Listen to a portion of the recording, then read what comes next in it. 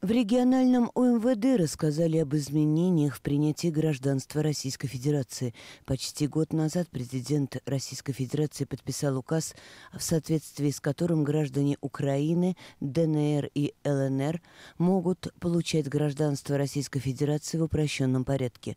За этот год в регионе гражданами России стали более 4 тысяч граждан Украины.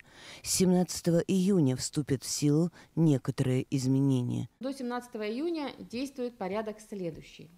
Ну, все вы прекрасно знаете, что граждане России, граждане Украины, которые приобрели гражданство России, они сохранили гражданство Украины.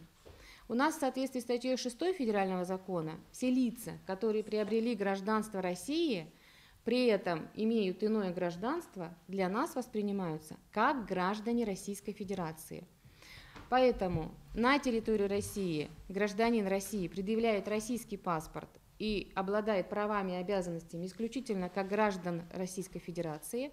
Но если он поедет за пределы Российской Федерации, например, в Украину, у него остается национальный паспорт гражданина Украины, и он может им воспользоваться на территории Украины и как бы быть гражданином Украины. Двойное гражданство России и Украины не позволяет людям трудоустраиваться в государственных и муниципальных структурах, обучаться там, где есть доступ к государственным тайнам.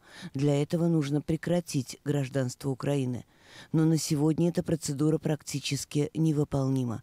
С 17 июня 2023 года порядок будет упрощен. Граждане Российской Федерации, имеющие гражданство Украины, могут обратиться с заявлением о нежелании состоять в гражданстве Украины.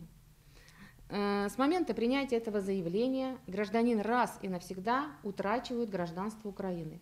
Ну, соответственно, у него появляется возможность работать там, где я перечислила. А, значит, но есть определенные правовые последствия. То есть гражданин России, который обратился с соответствующим заявлением, он уже не имеет права использовать свой паспорт – как гражданина Украины на территории России. Кроме того, внесены изменения в указ президента от 30 сентября прошлого года. Это касается иностранцев-контрактников. В соответствии с данным указом не только те лица, которые заключили контракт, но и члены семей иностранных граждан, заключивших контракт, то есть супруги, родители, имеют также право обратиться с соответствующим заявлением. Контракт должен быть заключен минимум на один год для того, чтобы появилась возможность приобрести гражданство. 26 октября этого года вступит в силу федеральный закон о гражданстве Российской Федерации, регулирующий порядок и условия приобретения и прекращения российского гражданства. В соответствии с данным новым федеральным законом 138 появится больше возможностей, так скажем, приобрести гражданство у лиц, которые кровно связаны с Российской Федерацией, которые прекрасно владеют русским языком, которые отлично знают нашу историю и законодательство. А, предоставление данного документа будет обязательно для всех, даже для участников государственной программы.